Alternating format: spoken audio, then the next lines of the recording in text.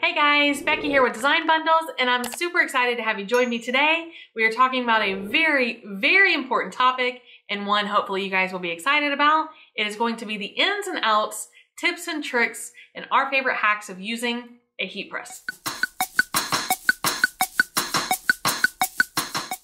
Hey guys, so here we are. This is my 15 by 15 clamshell heat press. Now, this is, I would say, the most common size for beginners. It is large enough that you can do the majority of your projects in one press and small enough that it's still considered like a compact machine. Now they do have smaller uh, heat presses that are just as efficient. It just means that you will press in multiple stages. Now, Let's take a pause real quick because I know some of you guys are here for heat transfer vinyl and some are here for sublimation. Now, I always recommend for a beginner to get a clamshell heat press for heat transfer vinyl. I just think it is simpler, super easy, and compact. Now, if you are here and you are thinking of getting involved in sublimation, then you may want to consider a swing away. Now, a swing away is a heat press machine. It in theory, could be the same size. They come in the same sizes as the clamshell heat presses. But instead of the top part opening up, it swings away. Okay, now I personally, um, not that a lot of people don't have good success, they do. A lot of people love their swing away presses. I'm just going to say if you're going to buy a swing away, you need to check two things. Number one, make sure that you have a surface that you can mount it to if you're buying a less expensive heat press. Or number two, buy an expensive heat press. And the reason that I say that, and expensive, I mean uh, for around $1,500. Whereas this one, you're going to get, still get a really good model for less than 500. And now that doesn't mean that you can't find swingaways and clamshells and everywhere in between. You can definitely buy a swingaway press for the same or a similar price as a clamshell. The reason that I'm telling you that you may want to consider either being able to mount it or buy a more expensive model because I bought a cheap swingaway model and um, I did not want to mount it to my surface. And the very first time that I used it, I swung the lid around where it's supposed to go and it became off balance and it fell and it put a big hole in my wall. so that has made me a little biased towards swing away. Um, we had actually only lived in the house about a month, so I was really distraught. And then I had to patch it up before my husband found out. So it was just, it was an awkward situation for everybody. But I'm telling you the story just to say that with heat presses, everything is a trade-off, okay? You're always going to get, in theory, get what you pay for. That is true, I feel, especially for swingaways, because the cheaper models, they're not gonna be as balanced. That's where I'm going with that story. So, because of my bad fortune, I do, I have really good success. Even with sublimation, I have really good success using my clamshell model. All right. I love them. I think they're really great. I have the 15 by 15 and I have a 16 by 24, I believe it is. Um, and, you know, I just cannot get enough of the clamshell. But I can also recognize that a swing away is going to have more consistent pressure because it hovers versus you're going to have that angle coming up and down. So again, just a trade-off. Let's talk about pricing. This is um, an upgraded model. This is not my first heat press. Um, like I said, this one was around or under $500. You can still get really good heat presses in the $300 range. And if you are really crafting on a budget, you can get clamshell heat presses online, usually Amazon for around uh, 170 I think is the latest price. Um, this is a little bit of an upgraded model because I opted for two options. It has a slide out drawer okay? It's not sliding, it, it, slides very easily. I have it on these pads to protect my table. So it's not sliding out quite as awesome right now, but it's a very good feature. And then also mine has It's an electromagnetic closure and an auto open. So what that means is that once my timer is done, it will automatically pop open. That is really good if you um, are a fan of cold peel vinyls. I am. I use a lot of cold peel HTV and what'll happen is it will actually just pop open at the end of my 15 seconds and then I can allow it to go ahead and start the cooling process while I move on to other things. So it just means I don't have to stand there there we go. That has a release button on the side. So those are two options that a lot of people are really big fans of. And if you, if budget is not a concern, I would say these are very two good features that are worth upgrading for. All right, but that's what made this heat press around $500 versus around 300 or 350, okay? Now there's always really good sales, so please, please check around on pricing. But the one thing that I do recommend is number one, check into the warranty. All right, these are very big investments for a lot of people. Check and make sure that you're getting a good warranty and make sure that your warranty work is being offered locally. Uh, maybe not locally, uh, domestic, okay? And the reason that I say that is because you want to have somebody that you can call if something happens. You can pick up the phone, call them, troubleshoot over the phone, and or be able to ship it back or even have them ship parts to you. That is really, really important. And with a lot of the uh, lower end price wise. A lot of the cheaper heat presses, they do not offer that. So where you may get, you know, a little bit of a warranty to come through for um, where you're purchasing it from, it is not going to be the same as being able to send off your heat press or order replacement parts for it. So that's all I'm gonna say about that. You do, that's another area where you kind of get what you pay for. Because I know a lot of people that have purchased heat presses in the $1,500 2000 2500 i mean of course they go up and up once you start getting into the really really good models but when the price starts climbing you also get that's where you end up getting you know a lifetime guarantee on the heat plate and, and this is going to last you for you know the next 20 years like it happens i know one crafter in particular from Ohio. I don't know that she'll see this message, but um, I know that she has always bragged about hers and how they have lasted in excess of 15 years. So that's what I mean when I say you get what you pay for. I'm very satisfied with my heat press. I've had this heat press in particular for, I would say five years. I believe I've had this heat press for five years. And my other clamshell, I don't use it quite as often because it really, the larger heat press you get, it really puts out a lot of heat. Um, and it, I've probably had it two years. So I only got it because it was a wider format um, and I started doing large sublimation items, which can benefit from having a larger pressing area. Okay, so I'm getting off track. I gave you guys the down low on what I have and why I have it and how I feel about where you're gonna fall in your budget range. If you can afford better, go ahead and get better because this is something that you're gonna want to stick with. Okay, heat press setup. You're going to take it out of the box. I will say, I feel like at least the heat presses that I have purchased, I've taken them out of the box, put them onto whatever surface I'm gonna use, and plug them in and they are more or less ready to go. A few tips on that front is that you want to make sure that you're plugging it directly into the outlet. All right, it is not recommended for heat presses to be plugged into extension cords or surge protectors if you can help it. Um, now, I'm not going to say that I've never used either one of those, especially, you know, at, at trade shows or classes. You know, sometimes you don't have a choice. So do keep that in mind. But um, I would also say it's also recommended. Again, I, I don't do this. I'm a, I'm a very bad crafter. I'm good at doling out advice and not taking it. Um, I would probably also unplug it, um, especially if you're looking at a lower end uh, price wise model heat press. Um, there have been people that have reported having incidents, and we certainly don't want anything to happen to your home or place of business. Okay, so Moving on from that, after you get it set up, one thing you want to do is check out other accessories that you may need with it.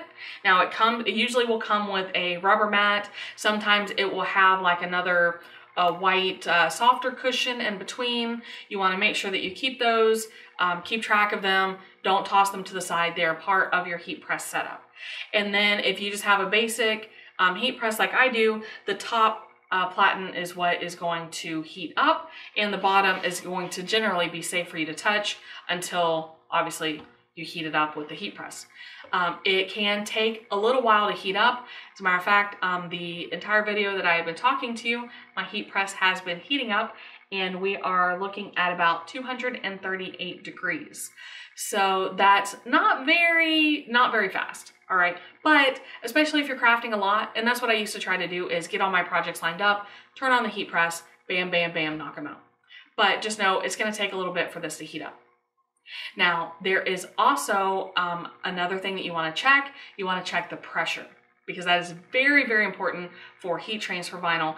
And even if you're still hanging around for sublimation, still very, very important for sublimation to be able to adjust your pressure because you know with sublimation, not everything takes the best pressure, okay? But with HTV, you're really looking at really good pressure. Also, when we're talking about setting this up, let's talk about what kind of surface you want to put this on. You want it to be a very stable surface. Okay, now I have this on my workstation here. This is obviously not where my heat press stays. Um, I have a table right to the side over here. And what I like to do is I like to put these on end tables. I have one end table that I've had forever and it is horrendously ugly. Um, and that's why it's not here in the video with me. But, um, you know, it doesn't matter if I scratch the top, it doesn't matter what happens to it, but it is super, super sturdy. What I like about it, I don't know if you noticed earlier, reaching up on a, this is, hmm, I won't say this is, is bar height, but it is taller than a desk or a table. But if you have to reach up and pull down, it really takes, you know, some, it takes a lot of arm strength to be able to push this down and lock it into place. So especially if, um, if arm strength or uh, maybe your back or anything like that, if you have anything that may prohibit you from being able to do that, really a, a lower surface is going to be better. Think about an end table that moves this whole thing down about a foot. And what that means is you can take it from about here and when you push it down, you can lean into it instead of having to push it. Okay. I know, you know, that's, that's the best example I can give you, but it really makes a big difference. I like end tables. Um, and that's what I recommend as long as they're sturdy. You cannot go down and buy a $30 end table from the general store and put it together yourself. And it, I mean, maybe it'll work, but it's not gonna last very long. There are also a lot of industrial heat, uh, heat press carts, really industrial carts you can get from like your hardware store, you can get them online. A lot of people use those so that they can wheel them in, use them, and put them back away because not everybody has a crafting area that holds, uh, you know, a heat press or maybe it's going to take up their work area. Okay. Other considerations. All right. We talked about um, things that may come with it, things that you need that do not come with your machine, typically speaking, are going to definitely be a Teflon sheet. All right. You can get these in bulk for about, you know, like five pack for 10 bucks. Um, and I like doing that because it means when I mess one up, then um, I can just easily replace it. I can grab another one out of the box. These are pressing pillows. They come in a multitude of sizes. Um, actually, this is, cause I messed up my big one. Um, this is also a cheaper alternative. This is a black heat safe foam. Um, you can get these from a lot of sublimation places that carry those.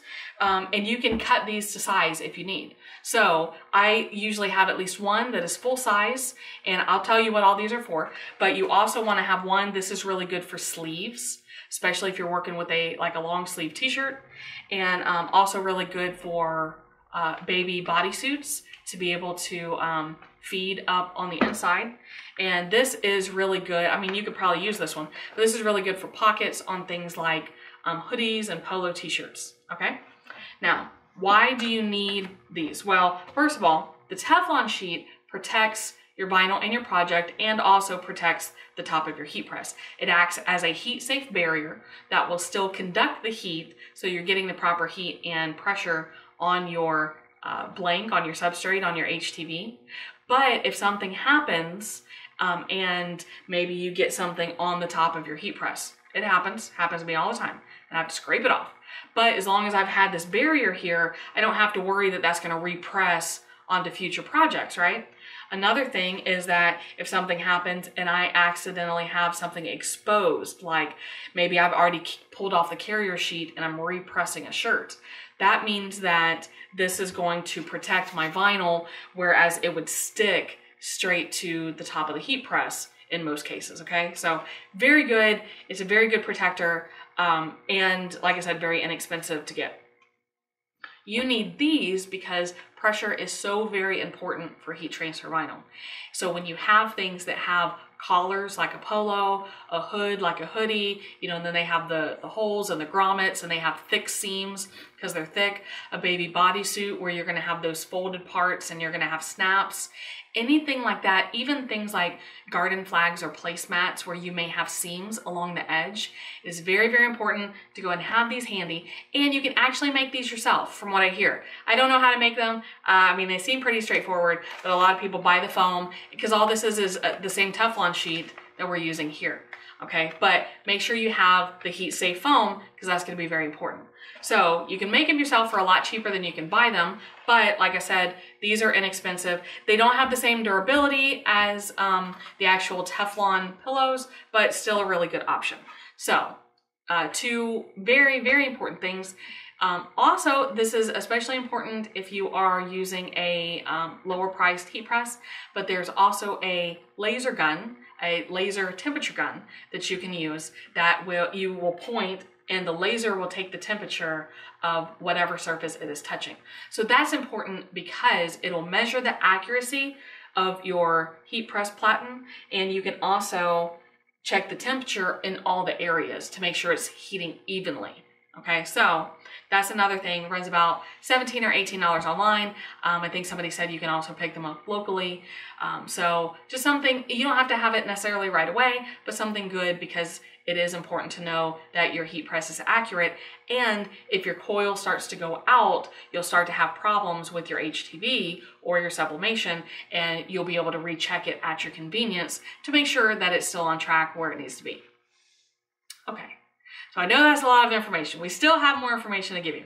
Let's talk about, we talked a little bit about the pressure with your um, heat transfer vinyl and your pressing pillows. Most heat presses will have a knob. Now my other heat press, it is actually back here in the back on the very top part here. This one in particular, it is right here in the middle, okay? And you're going to turn it clockwise to tighten the pressure and counterclockwise to loosen the pressure. Or at least that's how it is on mine. Please double check yours and make sure I'm telling you correctly because um, it may be backwards. so usually what I have to do is I will turn the knob and you can feel. Once you get used to it, you can feel. If I really have to put a lot of um, effort into closing it, then I have very high pressure. If I don't have to put a lot of effort, then I have very low pressure. And that's harder to tell for heat transfer vinyl because we are taught pressure, pressure, pressure. You want all the pressure, lots of pressure. And um, a lot of people have told me I use too much pressure. And it doesn't hurt my project, so I've never loosened it up. But um, I just feel like it's a fine line of the effort that I have to put in versus making sure I get enough pressure. So keeping it lower, I can go higher um, without putting a lot of effort into it. Okay, when we talk about how much pressure you need, there's something called the dollar bill test okay?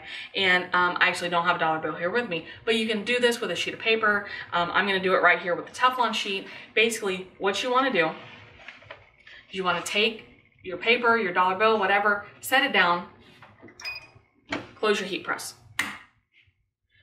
Take that and pull on it, okay? I mean, I can really, okay, not coming out. If you tug on this and it comes out, you need more pressure. Okay, so you will adjust that manually, unless you have a higher end heat press. The high end heat presses, a lot of them have digital pressure. So if that's where you're at, um, congratulations, I'm very jealous. But for, for the rest of us with these models of heat presses, um, doing that test to make sure that you have the right pressure is essential. All right. Now, you guys with sublimation, it will be a little bit different because a lot of times you will have substrates that are light, medium, heavy, or anywhere in between. So you will really have to get used to. I control mine. That's actually what my other heat press is for. What I do is I leave it on very light pressure. And then if I'm sublimating something that needs heavier pressure, I won't adjust the heat press. I'll bring in my pad and that will give me the extra pressure I need. So, you know, just know that there are multiple ways to increase the pressure. If you cannot or you're unable to get higher pressure on your heat press, then just grab some of these um, pressing pillows or this black foam and go ahead and put it on your heat press and that will help you get better, more even pressure, okay? All right, so we've talked about pressure, we've talked about buying it, we have talked about, um, so remember that your temperature your temperature will be set by the manufacturer of your uh, HTV. So this one in particular, I know that it heats um, anywhere from, I believe it's 300 to 320 is my range. I'm not gonna lie to you, I kind of heat everything at 320 because the majority of my vinyl is 320. But um, just know that when you're heating heat transfer vinyl, that you are gonna want to check out that temperature and make sure you're doing it correctly. All right, so I'm gonna go ahead and do a project for you. I like to just leave my Teflon sheet up here, keep it handy. Some people, here's another tip, some people will take their Teflon sheet and wrap it around their heat press and secure it with magnets. Now, I've received conflicting information about that. Some people say that the magnets are not good for your um, platen up here, so definitely do some research on that before um, I tell you yay or nay. But I had a heat press that I did that to for a long time and everything was fine. Um, also, uh, when I bought this heat press, the vendor sold um, a heat press cover that would actually wrap around and secure itself without the magnets. So there is such a thing out there. If you find that you're constantly forgetting your Teflon sheet, but those can be kind of pricey. I think I paid around $60. So just something to keep in mind. I am going to heat press. This is a tea towel, a flour sack towel. Um, very, very inexpensive, and they are super amazing to practice on. I want to find my tag. I'm gonna go ahead and pull my, this is why I like the pull out drawer because I don't have to get my hands close to the, the heat source there, okay? So these are going to be in my kitchen. So I like to put them center on my heat press. Try to get as many wrinkles out as I can, cover it with my Teflon, and I'm going to pre-press my material. Now, a lot of times, especially when you're dealing with um, shirts and, and these types of cotton projects, I'm sure polyester is the same, you want to do a pre-press because that is going to release the moisture that is trapped in the shirt. Even though you can't feel it, it doesn't feel moisture, um, it is there. So you want to give it a quick press and this also means that you can um, get all the wrinkles out. Gosh, why was that so hard? You can get all the wrinkles out, okay? That matters, especially for sublimation. All right, slide that back out. And I'm going to just line this up in the middle. If you are not used to alignment, you know what, let's go ahead and do it. Let's go and do it. I know you guys have seen me do this in videos before, but go ahead and fold your project in half. You can do this and it will act as your pre-press and your, um, and give you a, a fold line, okay? We're gonna press the fold line in here and that will give you a guide on where the center of your design needs to go. This is really, really helpful with t-shirts because you get a nice line right down the middle and it makes it a lot easier to line up your design. Something like this, a flour sack towel, it is, um, I don't wanna say less important, but um, alignment, because I'm not wearing my flour sack towel, it's just, I'm just gonna fold it and hang it up in the kitchen, it's not quite um, as big of a deal. But if you get in the habit of doing it, then it will become second nature and you will do it on all of them, right? Okay, so let's smooth this back out. So now I have a nice creased line right here. And I don't have to worry about the rest of my towel. I can just line this up. I'm gonna cover it back up with the Teflon sheet. Now guys, I know you're probably asking me, Becky, you said that yours was automatic open. Why do you keep opening it? Well, mine is set for a longer time because um, I do a lot of sublimation. So I have a, a manual release over there, but I wanna press this for about 15 seconds. This should be a hot peel vinyl, so let's find out. Yay, it is! Okay, and there we go. That's my project. And that's how quick and easy it is. So when we talk about going from using a home iron or using um, a Cricut Easy Press, this really makes a world of difference um, with how quick it is to press. And then I have my flour sack towel to put in my kitchen. So, all right guys, um, I'm trying to think. Oh, one last tip, one last tip. I get these from the dollar store. They are silicone, I want to call them a silicone puppet. I know it's not a puppet, but it is a silicone oven mitt. These are in the kitchen section. It's an oven mitt. If you have sensitive fingers, um, this is not a bad thing to invest in because it's only a dollar and you will be able to reach in and do some things. You know, it's, it's about like wearing mittens or having an oven mitt, a regular oven mitt on and that you don't get, um, you know, fine, fine dexterity at the ends, but um, still very useful, especially for sublimation because your items come out so hot, but still equally useful for heat transfer vinyl, especially if you have sensitive hands. So, all right, guys, I really think that that is everything that I have for you today. Hopefully you learned a thing or two from the video and you feel more comfortable getting out your heat press and using it and or you've decided if you are ready to order a heat press or not. So if you have any questions or comments, please make sure that you leave those down below. I do love to hear from you guys. I'm more than willing to share any experience I have with you. And you know, if you don't mind, while we're at it, uh, give us that quick like, subscribe, and share. Click the notifications. Make sure you get notified of all of our awesome videos. And guys, you know, I know I say it every time, but I do really appreciate every time you stop by. It really means a lot to me. And, um, you know, we'll see you next time. Bye.